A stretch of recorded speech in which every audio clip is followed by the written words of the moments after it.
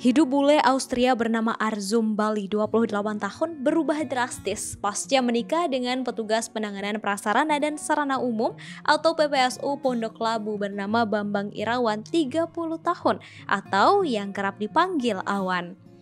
Dua pasangan ini akhirnya dipertemukan setelah dipisahkan oleh pandemi COVID-19 selama dua tahun. Niat Arzum untuk segera kembali lagi ke Indonesia pasca pernikahannya di tahun 2019 sempat terhalang pandemi COVID-19.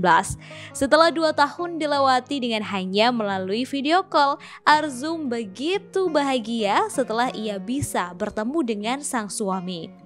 Di kota Wales, Austria, tempatnya tinggal, Arzum mendapatkan penghasilan sebagai kurir antar jemput makanan kepada pelanggan. Setelah pandemi mereda, Arzum membeli tiket pesawat dan mengurus visa. Setelah didapat, ia langsung memesan tiket pesawat menuju Jakarta demi berjumpa dengan pria pilihannya itu. Ia menuju ke Indonesia bersama sang anak Melody Putra. Baru balik ke Jakarta tanggal 13 Mei jam 7.40 ke Jakarta Soekarno Hatta.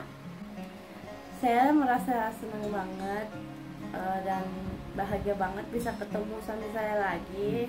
Jadi ya rasanya dunia milik berdua aja gitu di bandara gitu kan ya akhirnya aku nggak percaya banget sama sama anak saya juga nggak percaya banget kalau kita udah ada di Indonesia ini kan udah dari dulu kan kita impikan untuk menyatu dan akhirnya mimpi kita terwujud. Alhamdulillah banget gitu.